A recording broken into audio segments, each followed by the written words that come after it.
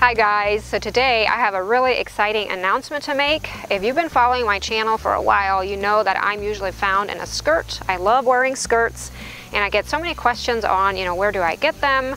And about a year ago, I got this idea that I would start my own skirt business. I would get local people to make them for me because we have lots of good seamstresses in the area and I would sell them because right now it's kind of hard to find a good quality skirt if you ask me out there in the stores. And finally after months of working on this, this took much longer than I had anticipated. I have it up and running on my website. I don't have a lot of colors available. I'm going to start out small but I'll definitely be adding more as time goes on. The one that I'm wearing right now is the teal and white stripe one. It's so soft and comfortable.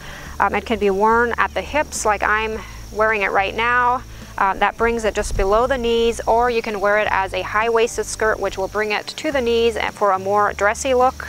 This is all really new to me. Of course, I don't really know what's going to happen with it, but I am really excited. I have a good feeling about it, and I feel super blessed to have a couple good seamstresses working with those cover stitch machines.